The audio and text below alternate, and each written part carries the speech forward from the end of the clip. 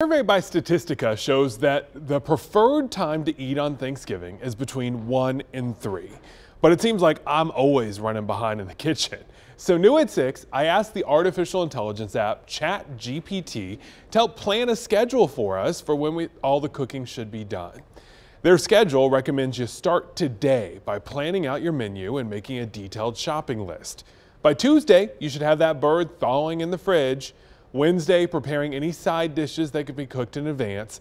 And on the big Thanksgiving day, you want to be up and cooking the turkey by 8 a.m. in order to eat at 3.